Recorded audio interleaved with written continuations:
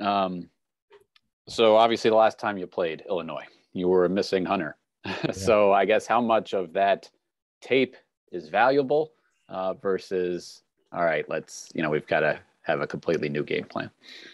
No, I think it's all extremely valuable. I mean, we battled we battled our butts off that game, and um, you know we were uh, I want to say at the at the uh, maybe six or eight under minute mark, we were it was a possession of tying or going ahead at one point. So, you know, it's all very valuable.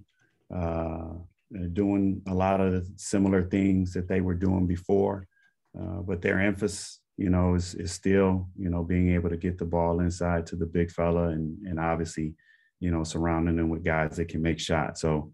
Uh, the challenge is the challenge, and uh, we'll we'll do our best to prepare. Thanks. Move over to Michael Cohen from the Detroit Free Press.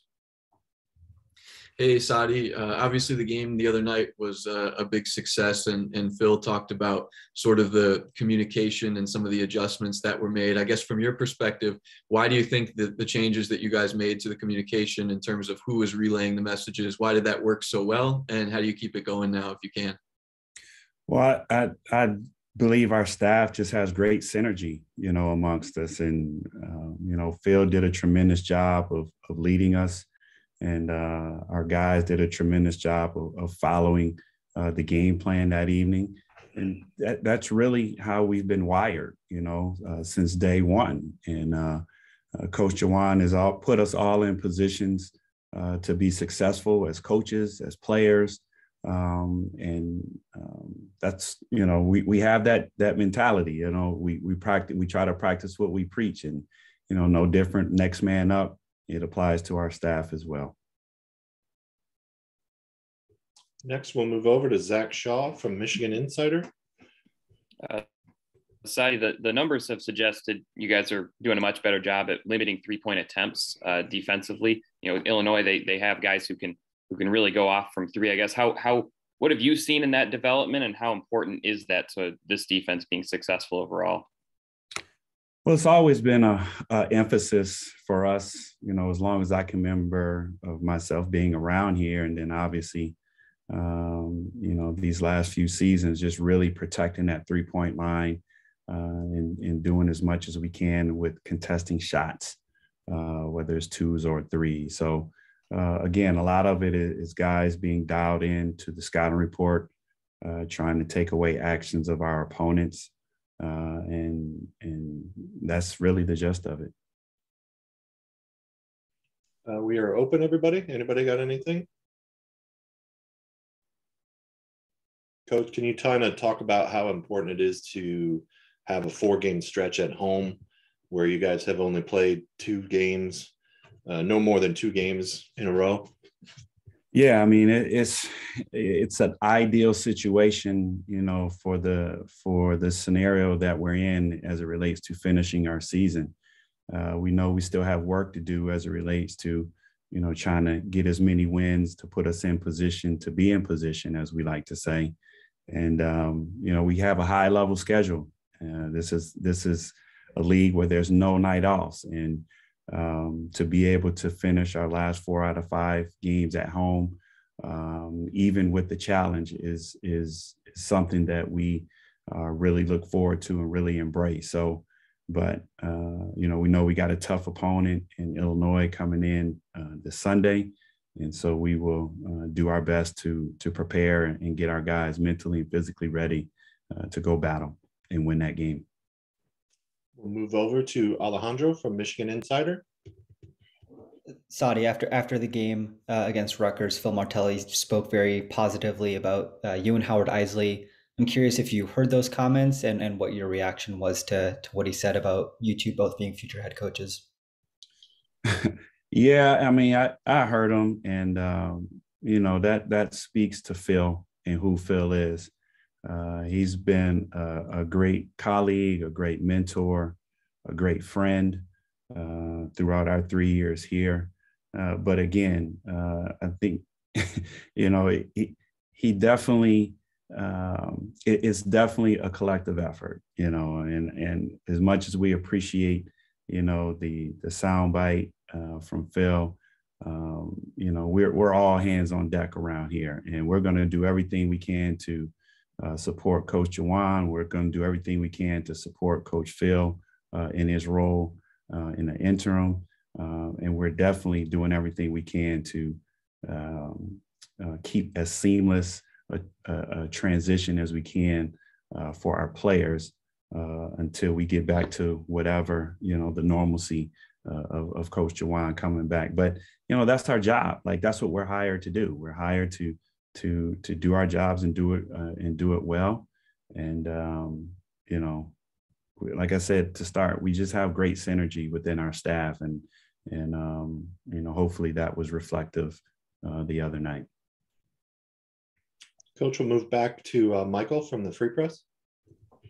Hey, Saddi, the, there was that stretch in the middle of February where you guys just had game after game after game, you know, four and seven days and things like that. Um, it seemed like at the at the beginning of that stretch, there was a little bit of an effort to try and manage some minutes for guys if possible. But then toward the end of that stretch, you know, plus with the the suspensions, the starters have had to play, you know, 38, 39 minutes a game. And and I guess I was just curious how you think uh, fatigue levels are over the course of the season and and what are the things that those guys do in between games to try and make sure they can get back to as close to 100% as possible?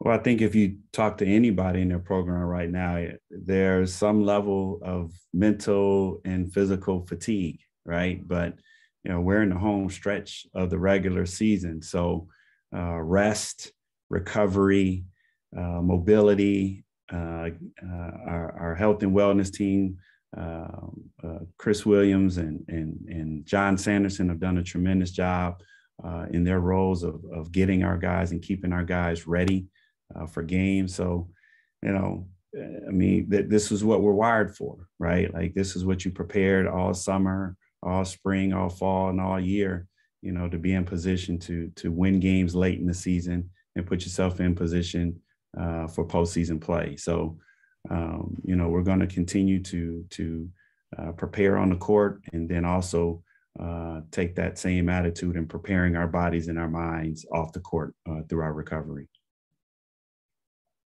We'll move back to Andrew from MLive. Saddi, I know, I know the game isn't all about scoring, but I guess speaking specifically about about offense, like you you guys know what you're going to get from from Hunter and Eli. They've been so consistent. Um, mm-hmm. But you know, some of the other guys, it's kind of up and down as far as as far as the points. Uh, uh, is is it fair to say you'd like a little more consistent consistency from you know a third or fourth guy, um, you know, down the stretch here? Yeah, I mean, I, I think you hit the key word on the head: the consistency, right? And uh, when we're shooting the ball uh, the way we shot the other night, we're really tough, you know, because it adds another element to our team, you know, on both sides of the ball, which which which makes us us hard to beat. And so, you know, whether we're hitting shots from threes, whether we're attacking the paint uh, and getting uh, scoring through our paint touches, um, you know, we do. We do need that level of consistency. And it's not going to come from the same guy every night. And that's okay, you know, because these guys do a tremendous job of working uh, individually on their game as well as, you know, what we do through practice. So, um, uh, we do need guys to step up at this time of the year uh, with consistent play.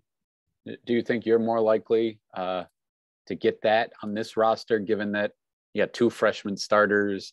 Uh, you know, to Kobe and, and Frankie come off the bench as, as freshmen. Like there's there's guys that have, you would think, I guess, you know, more of a, a ceiling than you know the seniors say. Yeah. Well, you know, we always talk about outliers at this time of the year, mm-hmm. right? And so we need one or two outliers to step up. And again, it's not going to be the same one or two guys uh, uh, game in and game out. But what we are confident is in uh, their preparation uh, that they've done uh, going into each and every game. And like I said, these guys work hard, um, not just during practice, but they also, you know, are in in their own time, you know, sharpening their their their uh, their craft to to be ready when their names are called. Thanks. Move over to uh, James Hawkins from the Detroit News. Hey, Saddi, I know for, for Coach Martelli, it's kind of bittersweet circumstances that have kind of led to him having to take over as acting head coach. I guess just what have you seen from him since Monday and just kind of how he's handled everything and guided the team since then? Phil is the legend. Like that's like that's what he does. You know, it's it was it was yes, the circumstances were not ideal, um, and but you know, to Phil's credit, this isn't his first rodeo. You know, and uh, he stepped right in very seamlessly. Uh, and it and it wasn't, you know, I don't even think it was an adjustment for any of us because, uh, again, I, the one one of the things that's great for working for and working with Coach Juwan is that he really empowers us as assistants to uh, coach. And so um, the guys are used to hearing our voices. Their guys are used to hearing our voices in leadership roles in different parts of practice or, or games and whatnot. So um, I don't think it was as much of a adjustment as as others might think. Uh, but um, you know, when you've been doing it as long as Phil Martelli has been doing it, as the old saying, it's just like riding, getting on the bike and pedaling again. And I think Phil did a great job in leading us uh, uh, the other night. And um, I know that and am confident in his leadership uh, over these next couple of weeks until we can get um, our big dog back uh, sitting in that seat. I guess in, in, the aftermath of everything that happened on Sunday, do you, do you get the sense that that whole incident maybe brought the team closer together? You know, you hope it does. I mean, I uh, if there's there's is definitely uh, an opportunity for either things to, you know, uh, go either kind of way. And to our guys' credit, we were locked in. Um, you know, uh, guys were definitely committed to staying the course, and um, we know we got we have work to do, and nobody's going to feel sorry for us. So, um, and nor do we feel sorry for ourselves. So you know, again, we're wired to show up to work the next day and do our job. And that's what we're going to continue to do. We'll go back to Zach from uh, the Michigan Insider. Saddi, I'd, I'd love to get a little perspective from you on, on Caleb's season so far. That certainly there's been ups and downs, and then maybe the comfort and assertiveness that he showed uh, the other day. Yeah, and you know, I, I, uh, Caleb has has definitely grown. You know, as the season has has has gone on. And you know you you expect it. Like every first year guy is going to have the ebbs and flows of the season. So you know as long as we're not freaking out as a staff that's going to help him stay balanced you know in, in who he is and, and what he believes about himself in terms of confidence. Um, i mean the kid plays you know 30 something minutes a game and um, he's had some great nights and he's had some you know not so great night but that's basketball all right and that's okay. But what what we are uh, that what we can hang our hat on is that the, the dude comes in and works every day. Um, he's been committed to the growth mindset.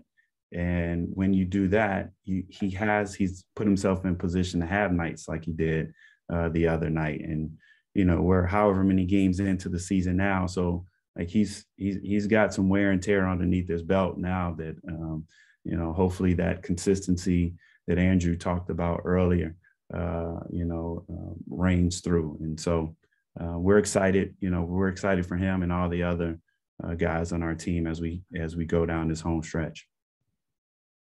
We'll move back to Michael from the Free Press with another one.